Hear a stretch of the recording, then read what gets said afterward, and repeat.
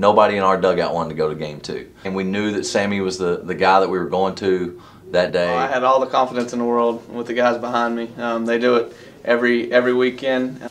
I knew this game would be a lot of, like a roller coaster, a lot of ups and downs and emotions going flying high. So I knew that our pitching was very limited, and, uh, and I didn't want Pop to have to throw me in there. We had so many chances. We were leaving guys on base, and finally the big hit. Kurt came up with the big hit. So it was kind of like a long time coming, and once it came, it was we could feel the momentum coming back on our end. Going into the eighth up by one, I don't want to say that we were counting outs, but I think everyone in the back of their mind was thinking that. In the ninth inning, when they had a runner on third base and less than two outs, there were thoughts through our minds as as a staff um, that they might squeeze bunt. The suicide squeeze wasn't even in the back of our mind; it was in the front of our mind. when Galvin gets on third with nobody out and doesn't score, I you know I was kind of speechless. I, I thought for sure that was going to be the inning, and uh, it didn't. It's they made some plays and it didn't happen.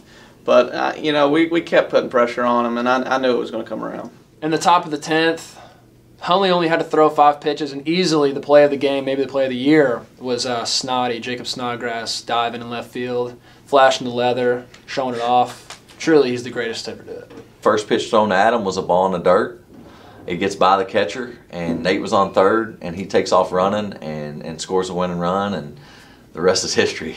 I was so caught up in the fact that you know Stimley took off running that I didn't realize that I was even on the base anymore. I was watching the ball, watching Stimley, watching the ball, watching Stimley. I think at one point I even started yelling like Stimley, go go go, and uh, and I knew from that you know as soon as Stimley slid across the plate that you know it was over regardless. So I I, I think I took off running from second base before Stimley even made it across the plate. Everything just happened so fast. Next thing I know, I'm under a dog pile, feeling like my femur's going to be shattered into a million pieces. And all I was thinking after is it's going to make the coolest phone background ever, which still is.